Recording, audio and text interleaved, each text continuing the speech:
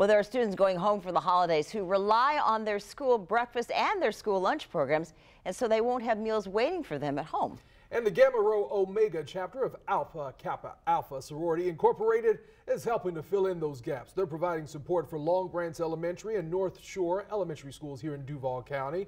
Weekly, they'll provide power packs, which include meals for students to take home for the weekend.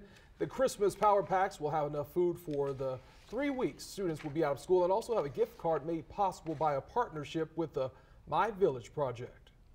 We wanted to make sure that we were able to address those needs when the children were not in school on the weekend during spring break, uh, Christmas holidays, and those types of things. And so, again, you know, uh, it is to support learning at the ground floor, but also the health and well being for these students.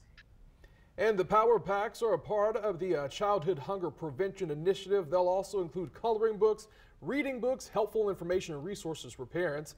Rosalind Mixon Phillips encourages parents to reach out to their child's school guidance counselor or principal to find out about similar feeding programs at your child's school.